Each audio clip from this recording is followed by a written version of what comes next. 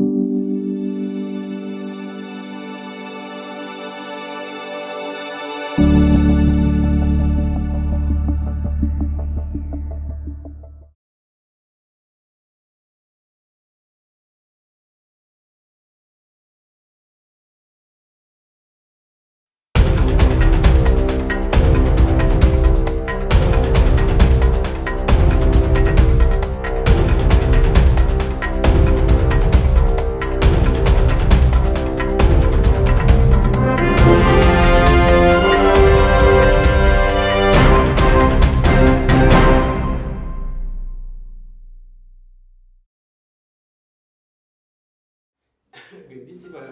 ce interesant este juxtapunerea asta într-un moment în care niște oameni vin, se adună într-un spațiu și peste o generație, două, se întâmplă această explozie și plecare. Ehm, v-am abordat cu dorința ca în zilele ce urmează, eu voi mai sta în oraș special pentru acest lucru și luni, marți, poate și miercuri, să aveți bunăvoința, mă rog, să pot să notez niște telefoane și să pot să vă întâlnesc pe parcurs ca niște oameni care sunteți legați și aveți ce să-mi spuneți, să ne întâlnim și să conversăm despre oraș. Deci asta e maniera în care am lucrat și celelalte subiecte. În primul rând am pornit de la oamenii de suflet, de la oamenii care au anumite preocupări artistice, fie că sunt poeți, pictori, muzicieni, nu? Ei cred că sunt primii cu care Uh, uh, sunt foarte utili în a-i contacta și a vorbi cu ei despre asta. Deci asta este rugămintea și sper că înaintea plecării să pot să stabilim o modalitate prin care să ținem legătura. Eu fiind până duminică în hotelul Totuși, dar voi mai rămâne în oraș încă două, trei zile pentru intenția asta. Fiindcă după aceea vreau să plec cu, cu sacul ăsta de note la București și întotdeauna combin documentarea livrescă cu acest fel de documentare fiindcă nu, pentru un cineast uh, foarte importante sunt figurile, echipurile, lumina, starea de acum a lucrurilor, prin care întotdeauna poți să vezi și în spate și în trecut, nu? Numai asta te poate apropia de un fel de palpit al vieții, uh, fiindcă ceea ce mă interesează este un lucru foarte viu și interesant, nu, nu un documentar aric și academic. Vă mulțumesc!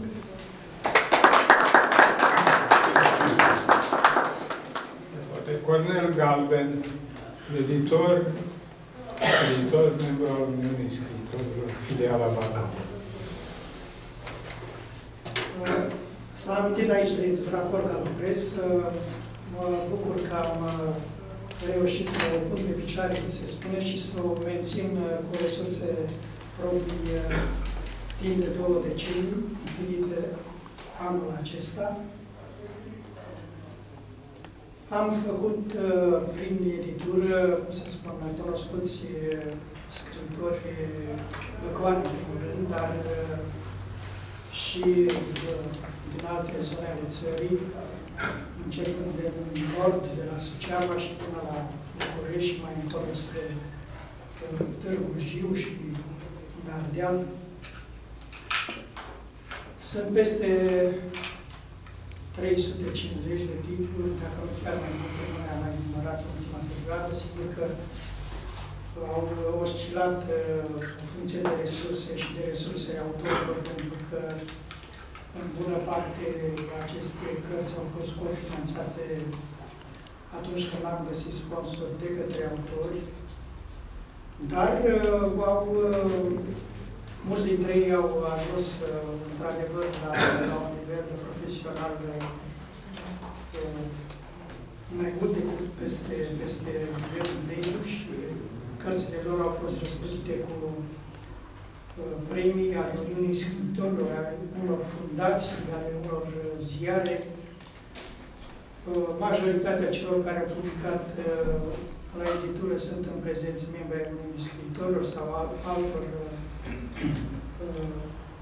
asociații literare. Anul acesta au apărut deja relate în curs sunt uh, uh, urmează să, să vadă lumina tiparului o micromonografie dedicată de criticul Grigore Codrescu, poetul Ion Tudor Ian, ar fi prima dedicată poetului. O carte de poezia Veronica Stărilă, uh, o altă carte a unei tinere uh, cercetătoare și uh, condei articol, să zic așa, profesoara uh, Victoria Cuiban, despre citarea poeziei. Sunt, uh, urmează și cărțile mele. Anul acesta am editat o, o carte de interviuri, dialoguri pierduitoare, care reunește, de fapt, interviurile publicate cu personalități din domeniul spiritualității ortodoxe, apărute inițial în revista Credința Ortodoxă și în revista Atene, în care și eu sunt colaborator. Vreau să vă mai spun că cei care mă știau la Bacău Acum e bine să mă știe la Onești, am revenit de câteva luni în Onești. Uh, aici încerc să mă integrez în, în atmosfera aceasta culturală a orașului, chiar să, o, să aducem și noi o părticică acolo la, la cunoașterea ei și vă anunț uh, că am venit uh, nu singur, ci și cu televiziunea, prima televiziune literară din România, care merge în mediul online. Este premiera astăzi. Este premiera astăzi, avem aici pe domnul Eugen Ungureanu, care e creatorul ei și directorul uh, și al televiziunii uh, exclusiv TV. Uh, sperăm să facem lucruri frumoase și literele și nu numai literele și artiștii plastici și ceilalți creatori să-și găsească locul uh, și în uh, paginile revistelor literare și în paginile uh, care apar în mediul acesta virtual. Mă bucur că sunt cu dumneavoastră. Am fost, de fapt, de la prima ediție a Zilelor Culturii. Eram atunci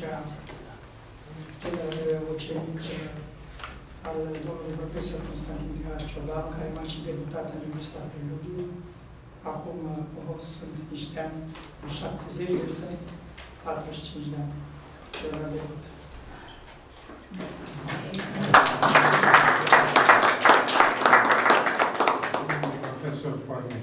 Am să încep permisiunea din rațiune estetice să stau uh, jos, să nu mă ridic. Două vorbe vreau să vă spun, pentru că se adusese în discuție localismul creator. Uh, anul trecut, în Onești, uh, a debutat un festival, sper să și continue cândva, uh, adresat tinerilor actori profesioniști, festivalul Avanscena One Man, One Woman Show, un festival de teatru dedicat, cum spuneam, tinerilor, care doresc să se exprime artistic prin spectacole impuse de 20-30 de minute maximum, Ehm, festivalul a fost uh, cadorisit cu premii generoase, trei premii în valoare de aproximativ 1000 de euro pentru cei trei uh, tineri care au uh, fost laureați. Și sperăm să continuăm și anul acesta, mă rog, anul viitor. Am zis 2014, fac o greșeală, în 2015 suntem. În mai anul acesta a debutat festivalul, deja că data are un an. Uh, e vorba de o inițiativă a Clubului uh, Rotary din Onești, sprijinit de Consiliul Local, uh, care a finanțat în întregime festivalul. Este o, o, un lucru extraordinar. Și, um, bineînțeles, am mai avut și un sponsor principal care a acordat un premiu aparte. Colaborarea s-a făcut cu un producător din București, un tânăr producător de la Universitatea de Arte Teatrală și Cinematografică, uh, Bogdan Țântaru, el însuși absolvent al acestei uh, universități și masterand.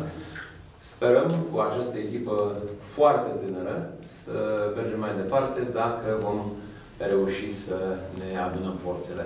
Deci, uh, da, în Onești se întâmplă și lucruri care țin de cultură și nu lipsit de importanță acest exemplu, acest focar, să zicem, pe care îl constituie Fundația Națională Gecăinescu este răspunzător de acest spirit.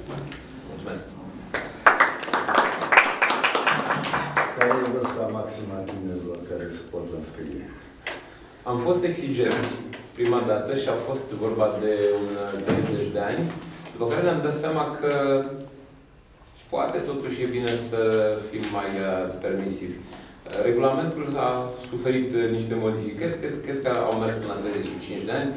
Era vorba totuși de, deci nu de actori locali, este vorba de actori uh, profesioniști, absolvenții unei facultăți de artă teatrală și cinematografică din țară. De asta Da, am da. întrebat, pentru că, în general, și în lume, vârsta la care se consideră ca fiind uh, tânăr și așa e 35 de ani. Da, da, da. Tânăr și ferice. da. Nu, dar vreau să mă înscriu. Am bănuit, am bănuit și de aceea... Doar în juriu, domnule. Putem, putem umbla la regulament. Problema. Să, Să știți că e foarte talentat, vă spune la filmările la care a participat. la un moment dat să anunță, să închid ușile și fiecare își mai găsește un loc. Dar nu-i rău. Da, da, da, da. Poate fi mult mai tânăr unul de 35 decât cei foarte tineri. Mulțumim tare mult, domnule profesor.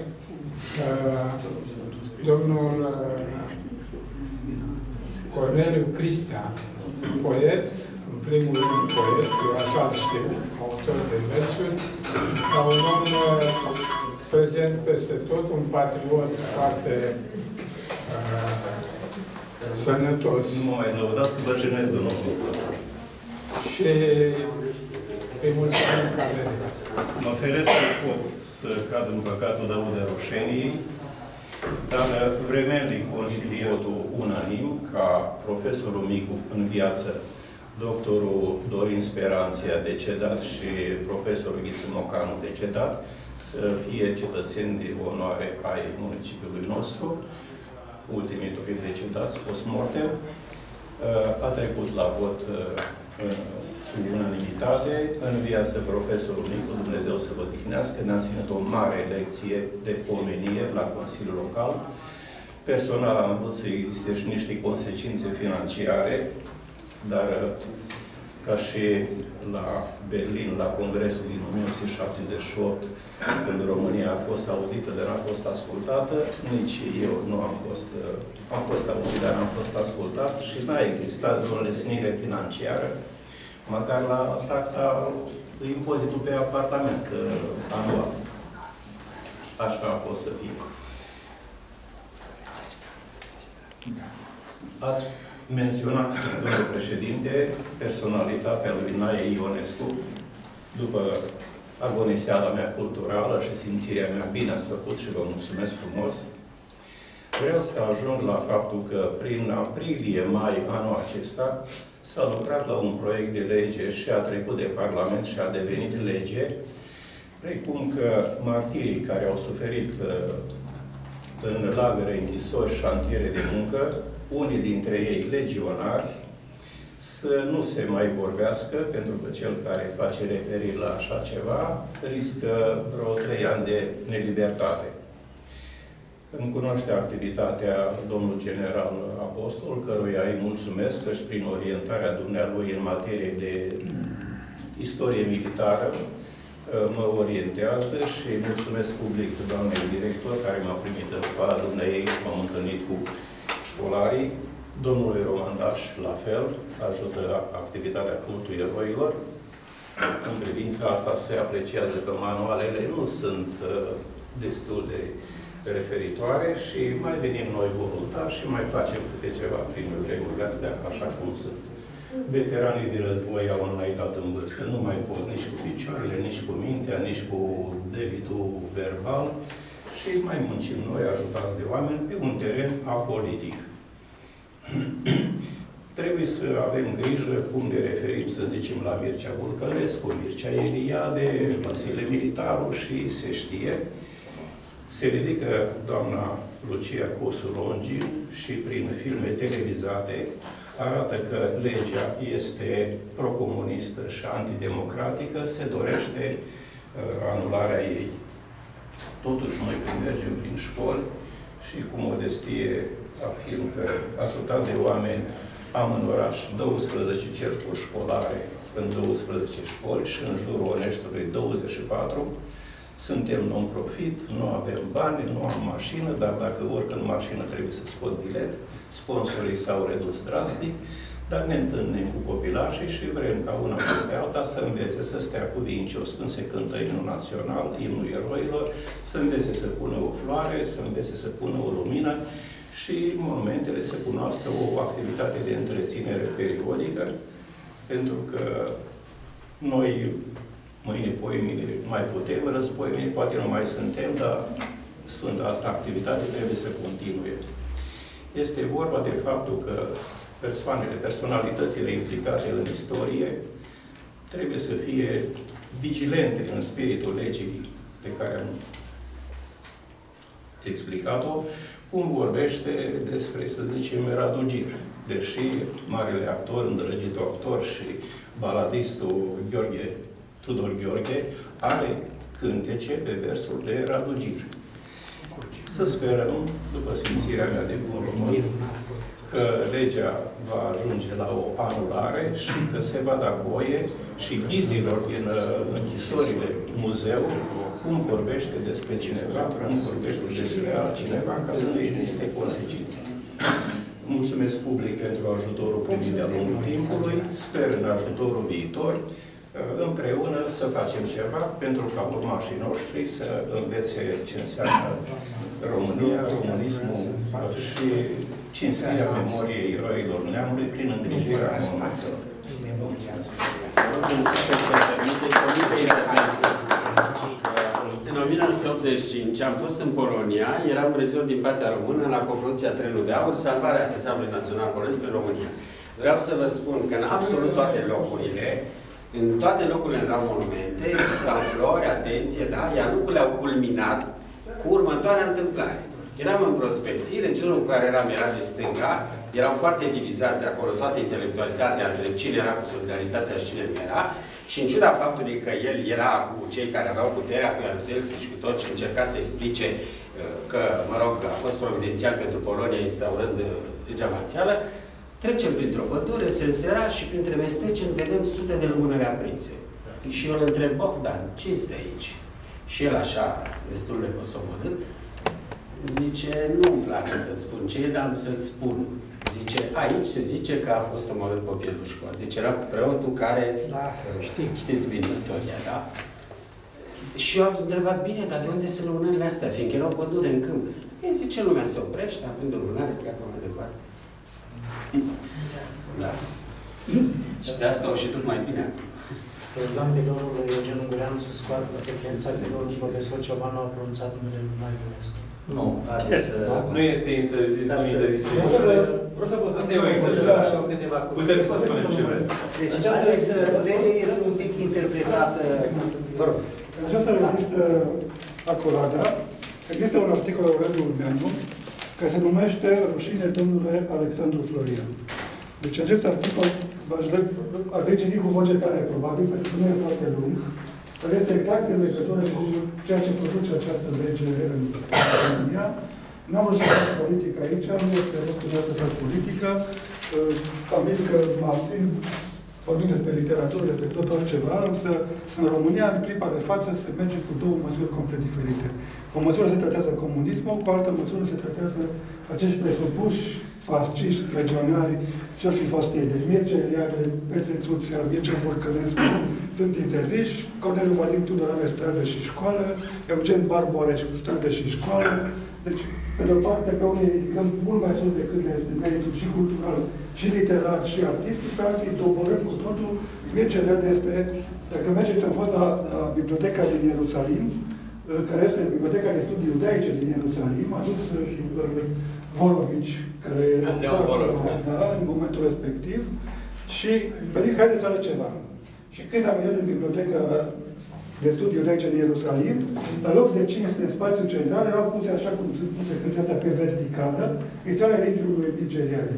Ce unde toată lumea respectă este nigeriane și ele aruncat cu pietre în țară și în alte locuri de felul ăsta. Deci, cred că ar trebui, cum zicea Monica, cum zicea Monica Lovinescu, cum zicea Monica Lovinescu, ar trebui ca și comunismul și fascismul sau ce-o fi fost el să fie tratate cu aceeași măsură, pentru că, cel puțin la nivelul țării ca România, măcar daunele produse de comunism au fost mult mai grele decât cele produse de câteva luni de, de, de legionare. Eu n-am nicio treabă cu legionare, n-am, în viața mea n-am simțit niciun fel de simpatie pentru mișcarea regională, știu însă foarte clar ce înseamnă un text, care este puterea lui manipulatorie, cât înseamnă chiar și o profesiune de credință spusă în anumit, o anumită perioadă istorică, în care toată, toată, toată spiritualitatea europeană se axa pe, pe naționalism, pe antisemitism, pe tot felul de lucruri și ce poate să însemne o implicare, cum să vă spun, idealistică într-o chestie în care, pe care ulterior ai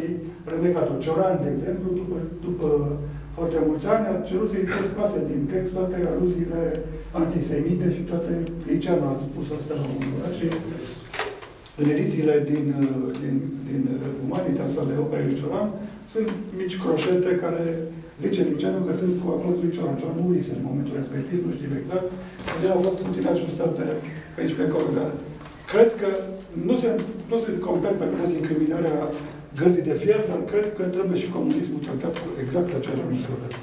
O să n-am știut să intervin, dar de data asta chiar sunt obligat. Cei care sunt mai apropiați știu că eu am făcut 92 de zile de greva foamei ca să obțin uh, legea imprescriptibilizării crimelor comunismului. Am negociat-o cu cei de la Parlament cu președintele Comisiei Juridice, cu Buda. În sfârșit, a fost obținută. Aș fi încântat dacă intelectualitatea românească și domnul Liceanu, pe lângă reacția pe care o are legată de tema de dinainte, să se revolte asupra faptului că această lege, deși există, nu este pusă în aplicare pentru că nu există voință politică. Faptul că ne scot ochii cu Ficior și cu Vișinescu, ei au fost dus, duși acolo tocmai pentru că erau patologici. Legea asta vizează pe cei care au ordonat, pe cei care au anchetat și mai ales activiștii de partid, pentru că nu așa, așa se spunea și atunci că securitatea era brațul vigilent și un aromat al partidului. Prin urmare, dacă vreți asta, instrumentul există. Totul este să vă angajați în, într-un tip de atitudine, pentru că drepturile, așa după cum vedeți, nu se acordă, se câștigă. Și fără luptă se pierde. Da. Prin urmare, nu am vrut să enunț acum meritele în, în, în privința asta, dar uh, de unul singur nu poți face mare lucru. Am reușit totuși cu o mână de oameni să facem asta. Dar acum nu mai depinde de o mână de oameni, depinde de noi toți. Asta e tot. Da, perfect adevărat și când ați la un dat, uh, lansând un proiect despre Mircea Eliade, a uh, extens-o apărea problema următoare când începi să cauți și dacă vrei să scrii ceva. A început campania după moartea lui, cartea lui Lavastin, nu știu ce. Cum e că tatăl acestei Lavastin a fost un om protejat de Vercelia, deși, mă rog, tot felul de alte lucruri. Și lucru pe care am vrut să-l ating acum era așa, dumne, în campania asta aș fi vrut să intervievez și pe Norma Manea și pe alții și pe alții, da? Și să le dau un fel de șac, exact cum făcea Larry King, l-am dat o întrebare dificilă. Între timp a murit Sol Bilo, Sol Bilo, marele laureat Nobel, care era bun prieten cu Eliade și făceau vizite. Când a murit Eliade, a rostit în superba capelă de acolo, de la Chicago University, un, un, un discurs uh, uh, în onoarea acestui mare savant și peste câțiva ani, în cartea Ravelstein, l-a încondeat acolo Gavrilescu, fost legionar care își ascunde trecutul, uh, simulând pasiunea pentru mituri și alte lucruri. Oarecum infamante. Aș fi întrebat când a spus adevărul Solbilo, atunci când a rostit discursul funerar sau când a scris cartea. Sigur că el oricând s-a fi tot aparat cu ideea că e o narațiune și că este o, o fabulație. Dar revin la lucrul de esență. Eu cred că măsura în care intelectualitatea fiecare pe felia lui va ști din când în când să aducă o contribuție este replica cea mai bună. Fiindcă tăcerea în situații dintre astea nu cred că este utilă. Cred că nu e de aur, e de plumb. O scurtă întrebare. Nu, da, da. Nu, vreau Da. Uh, cred că o să- Mulțumim și o să-i mulțumesc și personal domnului Ciobanu pentru că ne-a invitat astăzi la acest eveniment uh, deosebit. Zic eu cu, cu care va avea rezonanță națională și mă bucur că sunt în, uh, lângă dumneavoastră personalități din acest domeniu. Uh, Vreau să vă spun câteva cuvinte apropo de ce s-a discutat înainte. Nu trebuie să ne fie teamă. Literatura, dar și istoria nu pot fi contestate, nu pot fi șterse. Așadar, uh, cred că și legea ar trebui înțeleasă un pic uh, mai permisiv, în sensul că nu interzice nimeni dezbaterile, nu interzice nimeni uh, a discuta despre marii noștri uh, scriitori, despre marii noastre personalități. Așadar, se va discuta tot timpul despre aceste lucruri, dar la acele lucruri care aduc un plus de valoare culturii noastre naționale.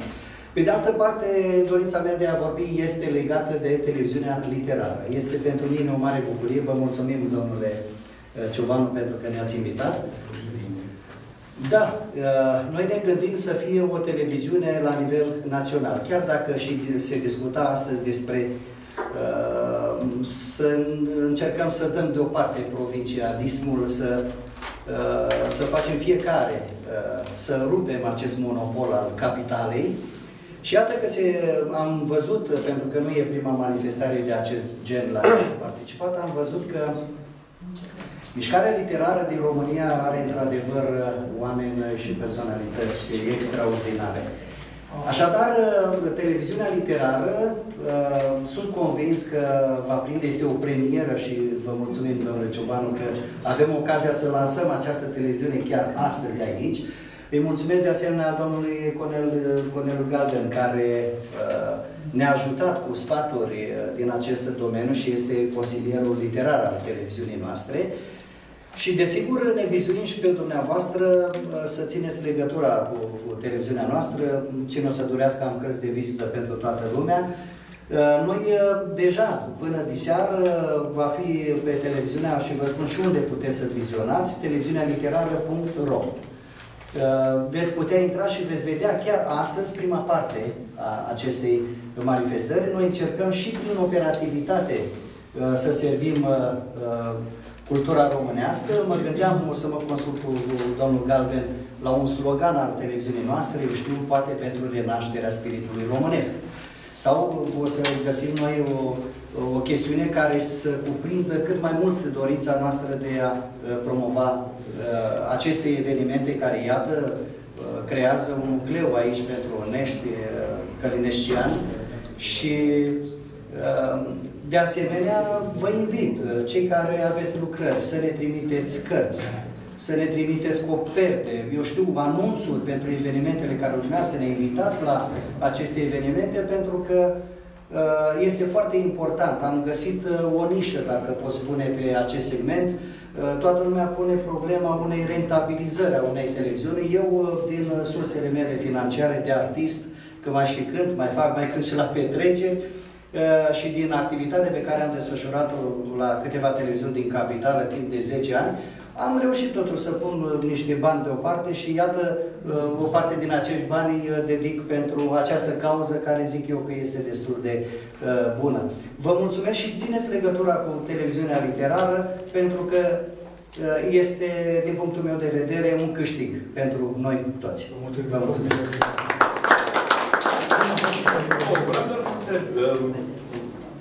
Să scuze, eu n-am citit legea aceasta.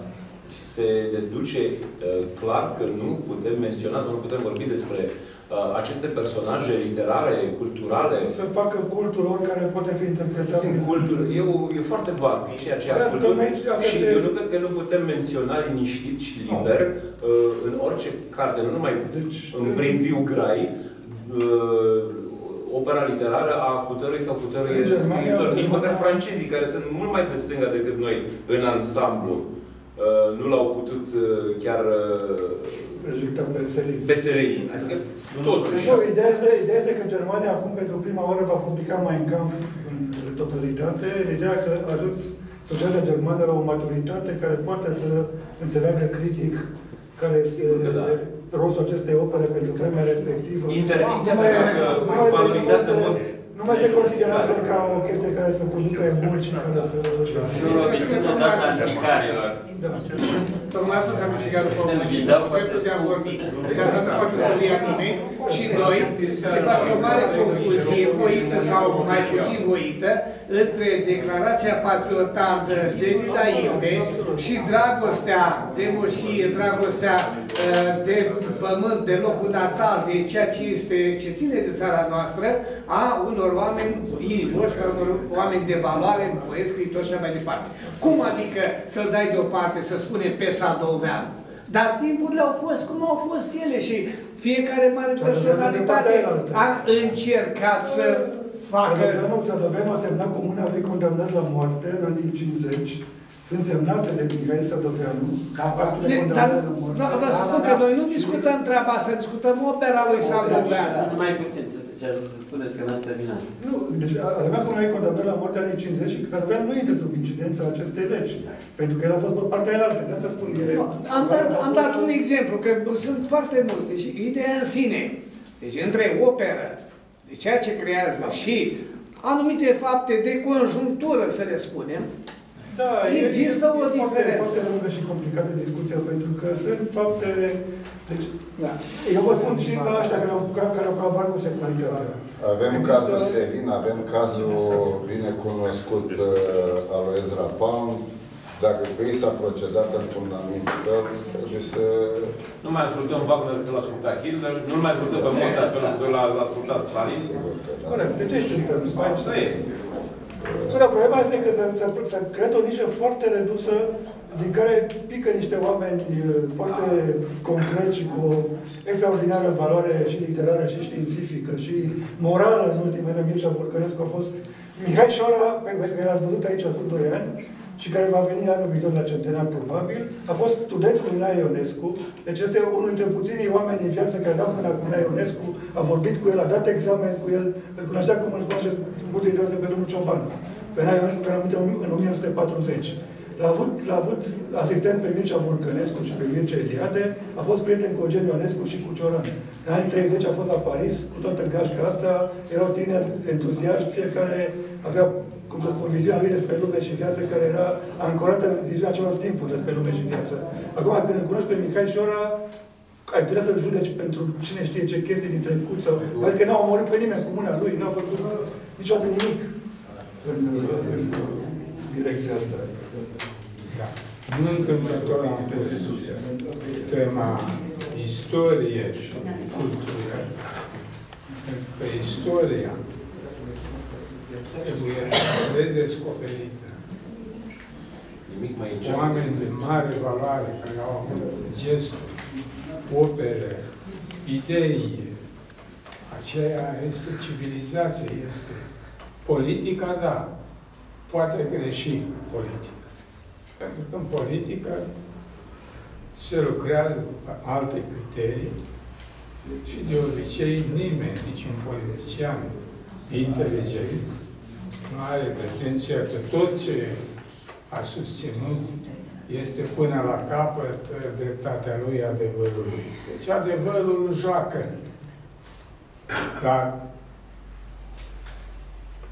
cât de frumos este când vezi un uh, gest paradoxal uneori.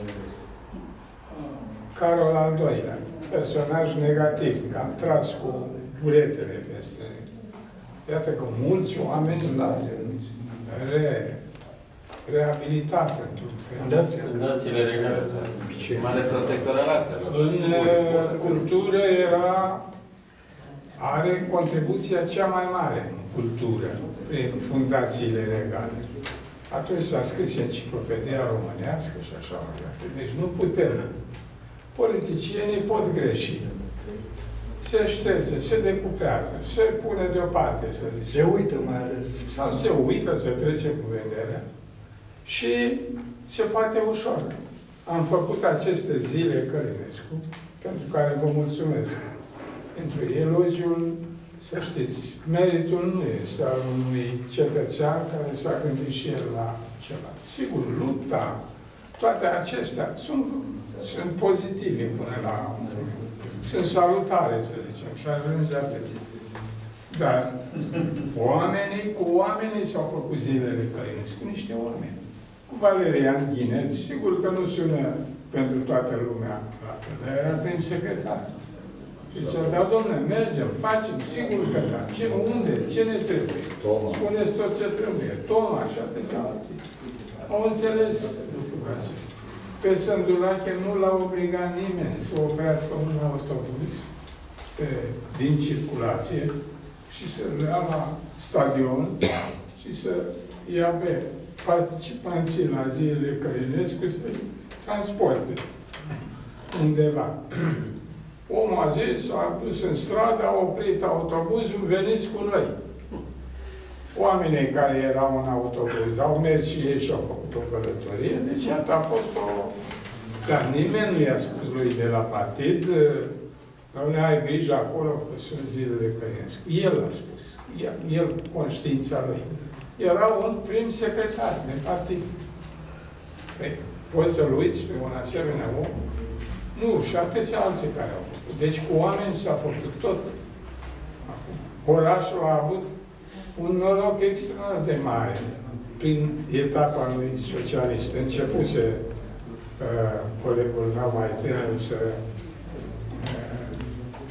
valorifice momentul. Momentul a fost extraordinar, că a fost o expansiune, o demonstrație că se poate face un oraș socialist. Toate trebuiau să fie perfecte, nu au fost perfecte.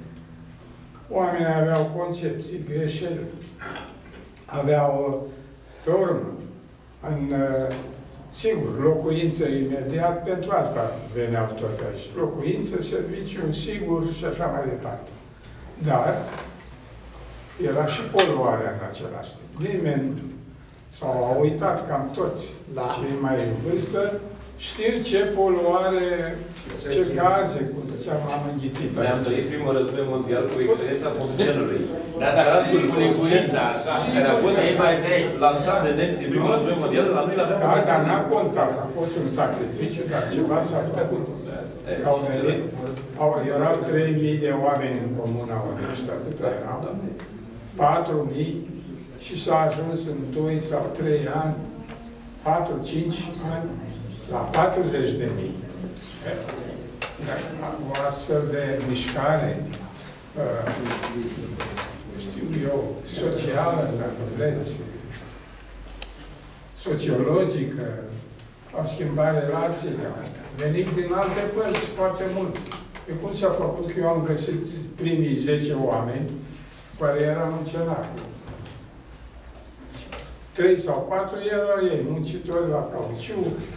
Sigur, încercau să scrie. Dar l-am găsit aici pe Ioan Micu, latinist, studentul lui Iorga. Constantin Cum la el Mindaru. s-a refugiat aici, de la Constanța, de unde era, și a venit la Onești, că trăia mai ușor, mai liber. Aici era un tip, Liviu Florescu, care se exprima într-un mod intelectual și era simplu operator chimist. Dar când am făcut discuția cu Marin Preda și cu mulți scriitori, a spus cele mai interesante lucruri despre un scriitor. Alexandru Iar Preda a dat lovitura, ca întotdeauna. Acel monumente era acolo. Și le-a spus la un moment dat, să știți că a început câțiva profesori, colegii mei, să-l critique, că el are limbaj. Dar ne rușine să intrăm în clasă, tovarășul Preda. Cum descrieți dumneavoastră așa? Profesor. Nu. Atunci acel muncitor, care nu era un simplu muncitor, îl chema Liviu Florescu. Un nume care plutește. Dar cuvântul lui înregistrat atunci și publicat în Gazeta Literară a fost extraordinar. A zis, domnule, stați așa, că scriitorul are și el niște mijloace ale lui, le folosește. Dacă ăsta intră în tehnica lui, dacă te-a pus tu un cititor să intri în intimitatea în laboratorul, și atunci Preda s-a ridicat și el și a zis, așa cum dumneavoastră ați avut multe păreri, nu? Sunt foarte interesante. Eu le-am ascultat cu atenție. Dar să-mi dați voie să am și eu părerile mele. Că dacă dumneavoastră nu mi acceptați părerile mele, nu mai discutăm. Deci, Moromete a făcut legea acolo. Nu s-a lăudat, n-a spus lucruri în plus, dar a spus de condiția scriitorilor. Dați-ne voie să fim și noi scriitori. Și omul se pregătea să scrie intrusul, inspirat de aici. În 62 atunci, când a avut în 65 intrusul, inspirat dintr-o întâmplare de aici, de la, de la rafinărie. Cum a făcut o parte. Da, Și făcut film Vaianii. da, Constantin Vaianii. da, adică Dar mai vreau mult să la zic că filmarea Vâlcea decât aici. lui Preda nu era frică să se întâlnească cu din ăștia învățați dinainte ce să spună, cum să spună, bă, doamne, noi suntem muncitori, scrieți pe înțelesul nostru, păi da. Da, literatura are și ea un specific. Mai văzise cu Ana Roșculeț, așa, când a fost invitată la Sigur. la lună de bumac. Nu, mai sunt uh, muncitoare așa, mai puțin la Asta Ana vă spun. Roșculeț. Lucrurile n-au fost simple, dar au fost foarte interesante. Cu oameni veniți din alte părți, cu uh, fica lui Octav Băncilă, locuia aici. Te cruceai ce inși vedeai. O actriță, așa zis actriță, era bogată, italiancă, foarte bogată, și dădea la Teatrul Național din doamna Pușcaș. Pușca și soția judecătorului. Da, da, da. Sigur. Și Să vedeți câte aveți să-mi spuneți. când a, ve- când a venit Eftimiu aici, unde lumea Citiți a aruncat cu analiză. flori, uh, să-l întâmpine și așa mai departe, i-a dăduse la teatru pe vremea când uh, Eftimiu fusese directorul teatrului. Și dădea mobilier, dădea tot și îi dădea și un mic rol uh, să face soră de nu știu ce, să fie la Crucea Roșie, îți spunea două cuvinte și era fericită. Că era și ea actriță. Iată cum oameni din ăștia erau pe aici. Venea la biserică. Și, cum să zic, la un moment dat, doamna Călinescu l-a înfiat pe băiatul Da. doamnei Pușcaș. S-a îndrăgostit de personaj. Mă rog, îi zicea dânsa, că punea porecle repede, era e, rapide la... I-a zis Bubulina după filmul. Da, da, da, da. da. Da, Margarita. Dar el a, el a botezat pe George. A zis George, numele lui Călinescu, pe Marius îl chema, dar i-a zis și George, l-a înfiat și a ieșit o treabă minunată, așa, a niște oameni ieșiți din comun. Tot așa, domnul Piru a cunoscut aici. Și valorifica, vezi, dacă că asta e italiancă, dragă. Și știi italiana, dumneata, știi ce înseamnă să sunt un avantaj.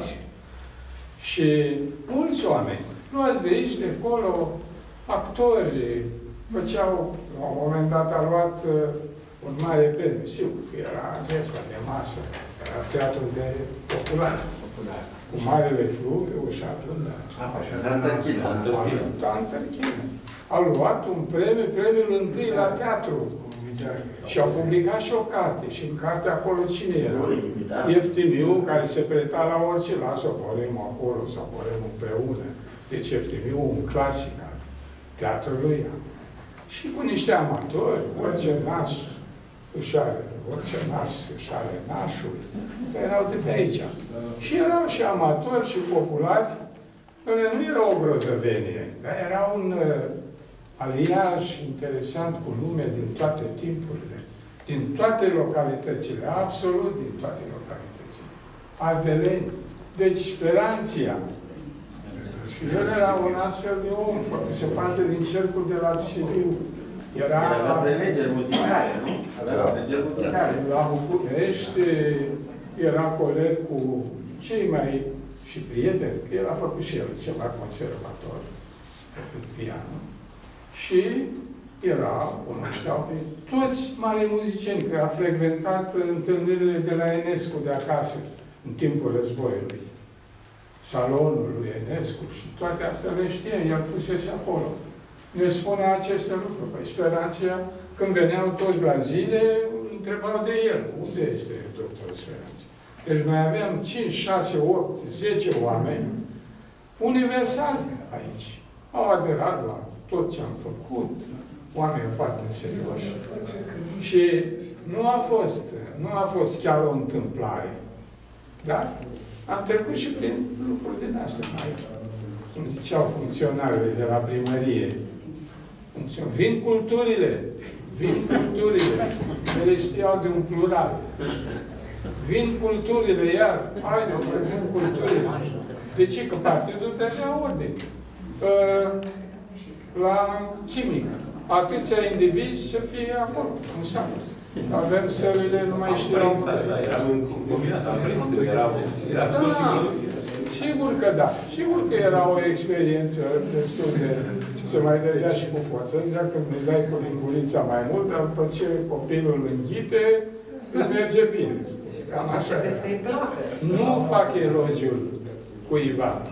Dar totul s-a făcut cu oameni și în niște condiții cu totul speciale. Deci, domnul Stelian are tot, uh, cum să spun, toată acoperirea să uh, cerceteze puțin, sigur, cu imagine, sociologic, uh, fenomen. Domnișoara HD-ul. HD, am să am să spun și eu, da. Că eram la o comisie, dar numai o secundă. Eram la, și era răposatul domn Minciună, pe care îl știți. Da, da. Așa. Și era și dânsa în comisie. La OCL era. La OCL era, marele, la omul de la clasa 8 Că așa era. Era la clasa specială și Cu alimente, șeful de așa. comisie striga după un tabel. Atunci, domnișoara Zoe, vorbea de unul, nimic n-a scris, era toată supărată. Când n-a scris la nimic și nu-i pune notă mare. Șeful de comisie era un șef de comisie și el de pe la balcon mai de sus și zicea, domnule, mai pune eu ăstuia ceva mare. Acolo a apărut între alții și pe poetul Ion Dragomir. Da, da, eu Dragomir, sigur. care e la Constanța, acum membru al Uniunii, de acolo, filiala Constanța. Și omul s-a impus cu cărți. El era socotitor la Buciu. Asta era meseria lui. Socotitor la CAP Buciu. Și omul a scris acolo, a scris o chestie în vers. Sigur, stângace total, un fel de colind, așa, despre uh, marele ferar betonist uh, Gicelea. Da, Da, da. Era un Gheorghe Bucel. Ideea, s-a convins. Gheorghe Bucel. Și striga lista aia. Domnul șef de comisie striga și ca să trecem notele, cu tare, cu tare. Și la un moment dat a ajuns la domnul Mincilu, Dumnezeu să ierte, și cu minciună, da. Doamna Zoe spusese și ea ceva. Cum? Să o crezi, dumneata, asta? Eu mint? Era o confuzie de moment acum. Eu știu ce șef de comisie, nu mai ascult, gata să plece din comisie, s-a domnișoara, că rezolvăm problema. I-am împăcat, deci domnișoara HD era ludă, spunea ludă, colaterală cu savantul. Avea. Și, cum să vă spun, studiat, studiat la Paris, la un pension, cu o experiență anume. Erau mulți oameni diferiți, foarte interesați aici, onești. A apărut și o lucrare, să știți, un secretar de partid din uh, București, deci secretarul municipiului de partid București, și-a dat doctoratul în sociologie cu onești. Titlul era așa, Etica muncii și modul de viață. Deci, modul socialist, cum lucrează, cum muncesc oamenii, câți au venit, câți au plecat, toate astea. Sunt cam lucrarea, a fost publicate a domnului uh, autor, întâmplător la contat, foarte simpatic, foarte de treabă, am cu autograf. Uh, anii aceia, teza de doctorat. Deci îți dădeau doctorate pe fenomenul uh, pănești. Asta, am trecut prin multe, dar am fost și norocoși. Puteai să inițiezi ceva și să prindă pe loc, nu mai aveau timp alții să zică, nu, domnule, că nu-i bună aia, nu ne interesează. Așa. Și inițiativele mai mergeau mai ușor. Iar când Călinescu a trecut pe aici, că el în 62, când am început noi mișcarea în Călinescu, era, am fost începute de el. El a scris despre acel reportaj extraordinar, asemuind apariția Oneștiului cu apariția planetei, cu formule chimice, ce-și amintea și el, de toată frumusețea.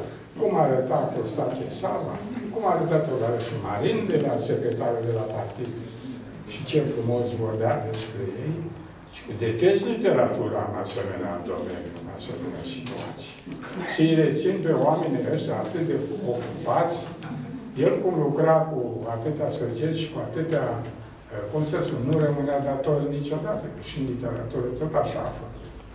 Știa să răspundă, știa să găsească soluții și să mute lucrurile.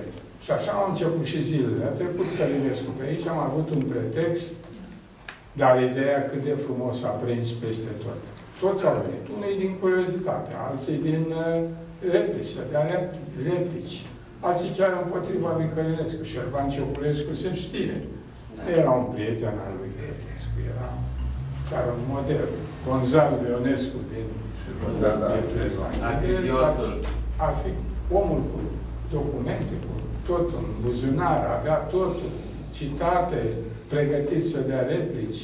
Șerban cel rău, cum mi se spunea în epoca. Exact, Șerban Șerban cel cel rău. rău. Și atunci, care a scris despre Arghezii, nu i-a plăcut lui Arghezii cartea, dar ce să faci? I-a fost primul care a scris după. Și atunci, uh, era absolut necesar ca să faci ceva. Noi, toată generația aceea, 62, când am terminat în 60, am avut de la Iași, în primul rând, de Șerida și București, la fel. Era o clasă specială acolo, un curs improvizat de uh, Ivașcu, care a ținut mâna Călinescu, a fost la jurnalul literar, secretar de redacție, și acum avea Ivașcu un uh, mare revistă, o, o publicație a lui contemporană, unde cine publica om se făcea.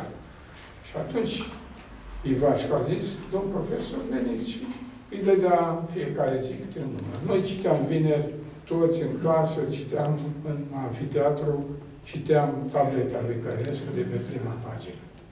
El scrie, scria Călinescu despre ce vroia el. Nimeni nu-i lua dreptul ăsta. Catedra era luată, tot. Și atunci, sigur că, invitându-l pe Ivașcu, s-a făcut o breșă mare. Ivașcu lansase pe Manolescu. M-am zis la Manolescu, a venit cu mare bucurie. El a venit de la ediția a treia. Piru de la ediția a treia, fiindcă era Ivașcu, nu venea Piru, se certau. Manolescu a și recunoscut că modelul lui a fost Călinescu. Spusul și deschis. Eu nu cred. Domnul Ivașcu și Piru, care am sărbătorit la 75 de ani, pe Piru aici, cu... Aveam un, uh, un uh, fost elev al nostru, tot de la liceul nostru, Jănică Geacăș, care era senator, secretarul Senatului. Și el se întâlnea cu Piru, că era și Piru se- senator. Se întâlneau acolo.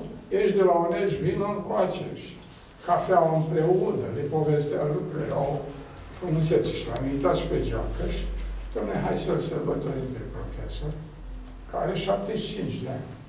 Aveam portretul lui făcut de Dorin Speranția. Dorin Speranția a făcut niște portrete unice. Portretul lui, eh, zic pe nume, poetul care eh, a scris o istorie. Mi-l amintesc imediat. Și când l-a văzut, îl cunoștea de la Sibiu, de la Cer, Nevoițescu. Ne uiți. Nevoițescu, care după aia a plecat în străinătate, are o istorie literaturii a lui, extraordinar.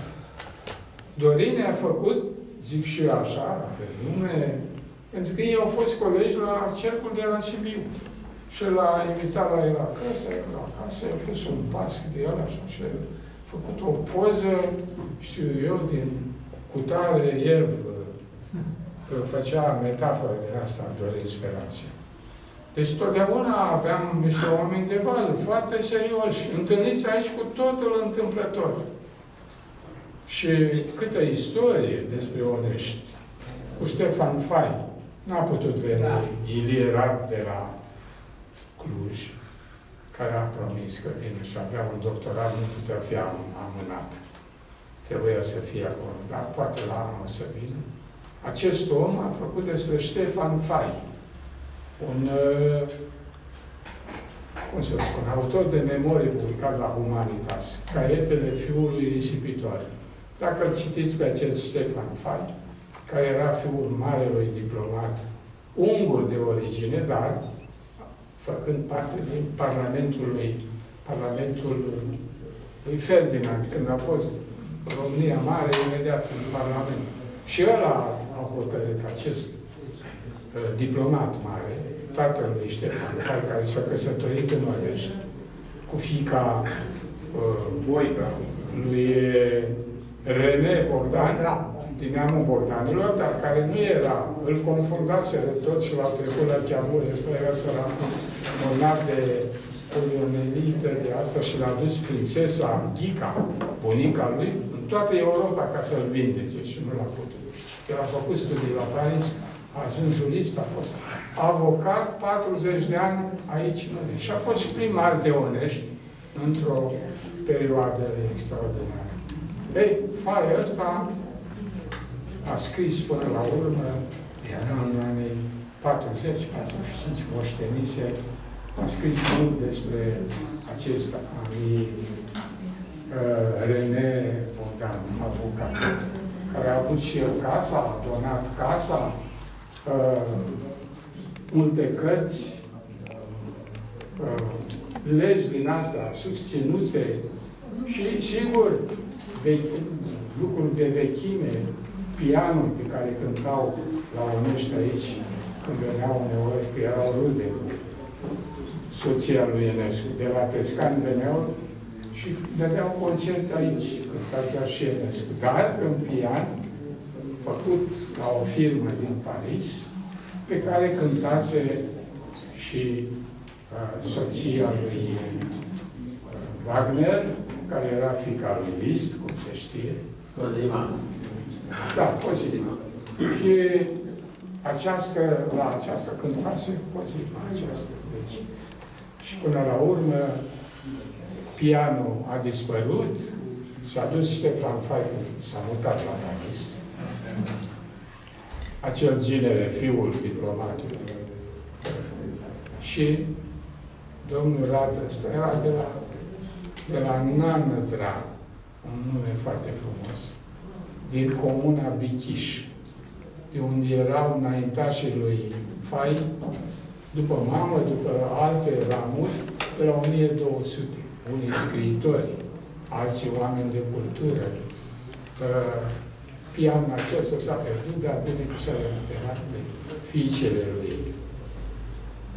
lui Fai, ăsta, că el a murit la Paris și undeva s-a păstrat pentru un muzeu. Deci nu am avut norocul. El a stat mult aici pe an, în Onești. Am avut norocul să avem și noi acolo undeva, într-un muzeu. Deci iată câte istorie, câte lucruri. De ce am, am și pus istorie și cultură. Și începe să se înfiripă, să se înfiripe idei din acestea istorice cu identitatea, cu oamenii, cu valorile. Deci am intrat datorită domniilor voastre, celor care ați propus, Stelian, altora, uh, am trecut la lucruri concrete. Asta am vrut să adaug. Vedeți în clipa în care punem sub lupă nu? ce lucruri extraordinare sunt și în aceste 100 de minute 20 de minute, mă rog, sigur, nu e vorba de un calcul sever, le văd dedicate cenacului. Gândiți-vă că partea aceea de film avea și o valoare istorică, fiindcă e vorba de oameni, da, de la fondator și cel care a, a adus ani de zile familia asta și până la toți oamenii care au venit cu viețile, cu pasiunile lor, plus cei care nu mai sunt și cei care nu Timpul trece, dar acea imagine va rămâne. Fiindcă, vedeți, uh, este absolut un spațiu cu o valoare simbolică, cum învățam noi la geometrie, de locul geometric, nu? locul unde se adună, nu știu. Povestea cenacului este o esență a acestui ceva. E, are și o valoare polemică vis-a-vis -vis de faptul că chiar în deșertul cultural, cum spunea Culianu, de fapt n-a fost deșert cultural, da? Și pe de altă parte, are și valența asta la altă, legată de valorile naționale și de faptul că cultura oriunde, în orice fel de spațiu, ea poate să fie vie. Și valoarea de document mi se pare extraordinară, fiindcă în clipa în care, prin toate poveștile care le adun de la dumneavoastră, de la alți oameni, încet, încet se sunt toată canavaua asta, vă spun, lucrul ăsta l-am aplicat deja în, în alte lucruri, și cu Buzău, și cu... E fabuloasă uh, dilatarea asta a imaginei când te apropii de o anumită esență a lucrului și mai ales de felul în care nu, sunt toate destinele astea împletite. Iar, pe de altă parte, este și un gest de pietate, adică mi se pare normal ca acest om care a fost nu, centru aceste, acestei inițiative, da? Să, să, să fie acolo prins într-o memorie istorică. Da? Suntem, nu suntem pe lume, dar lucrurile astea rămân, imaginile rămân. Vedeți câte emoții provoacă atunci când vedem, nu? lucruri care au fost cândva, care rămân în stima noastră, dar care nu mai sunt prezente fizic între noi. Cinematograf are și el puterea asta. Printre alte păcate are și daruri. Mai sunt opinii sau ceva, o întrebare, ca să nu ieșim... Da, aș, aș adăuga eu câte ceva. Da, da. Uh, pentru, pentru ca lucrurile să capete substanță, trebuie să identificăm întâi temele care au, sunt susceptibile să construiască identitatea locului. Că, până la urmă, atitudinea asta nu e decât o reacție de a nu te lăsa dezvoltat pe această mondializare. Și atunci nu trebuie să uităm niciodată că, apropo de lipsa istoriei care a fost atât declamată despre Onești, că totuși aici s-a născut Ștefan cel Mare. Nu cred că există vreo localitate din România care, sau din Basarabia sau din Bucovina, care să nu, să nu fi fost bucuroasă să-și poată revendica această șansă. Nu vreau să insist asupra faptului că, până la urmă, aici a fost cel mai insultat, pentru că ce e acolo lângă gară este o insultă, nu un monument. A fost Regina Maria, Spitalul Reginei Maria era aici, în timpul războiului. Asta înseamnă istorie. După aia trebuie să-și asume, la un moment, mi-aduc aminte de o încercare pe care am